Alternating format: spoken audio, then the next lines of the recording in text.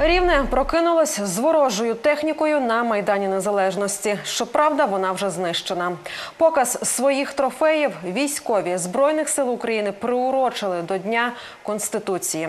Саме 28 червня 1996 року вона була ухвалена. Український народ і далі продовжує відстоювати свої права та свободу. Як саме сьогодні військові показали у Рівному. Орлан 10 е, дуже розхвалений російськими ЗМІ як найбільш передовий. Ну, як на ділі виявилось, не сильно. Пан Олександр показує безпілотник Орлан-10. Він був знищений підрозділом ППО ОК Захід в районі Лисичанська, що на Луганщині. Його швидкість може сягати до 190 км за годину. Апарат використовується для розвідки. Має висоту польоту конкретно цей до 5 тисяч метрів, а модифікації потужніші до 6,5. Конкретно орлани дуже часто використовуються на сході саме для коректування вогню. Взагалі для зйомки от орлани вони опускаються на висоту близько тисячі і менше метрів. Ну я думаю, ви всі чули, що в них камера Canon цифрова звичайно стоїть.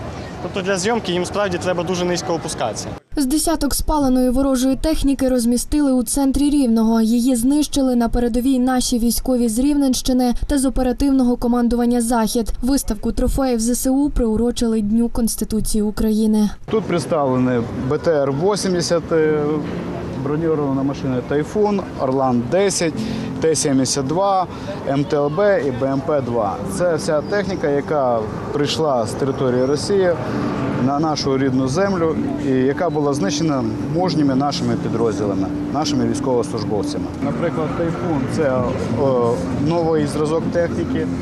Е, БТР-82А це те, також один із новітніх, будемо казати, зразків озброєння військової техніки. Нищимо ворога, наближаємо перемогу. Ідея виставки показати героїв, які зараз боронять Україну, і показати, як виглядають 125 днів героїчного спротиву. Захід України він сьогодні виконує дуже важливу роль. Це економічний фронт. Певна розслабленість відчувається, тому для того, щоб люди усвідомлювали, що сьогодні йде війна, і ми е, маємо пам'ятати про це і наближати нашу перемогу всіма діями. Хочемо нагадати навіть е, окупантам, що е, ворожа техніка має право перебувати на території наших міст тільки в такому спаленому і понівеченому стані. Е, Іншої техніки на території України не має бути і не буде. Подібні виставки знищеної техніки російських військ організовують і в інших містах України та за кордоном. Усе для того, аби показати людям, що війна в Україні це не картинка в телевізорі, а наша реальність. Триватиме виставка два тижні. Яна Євтушок, Олександр Бойко. Новини Рівного.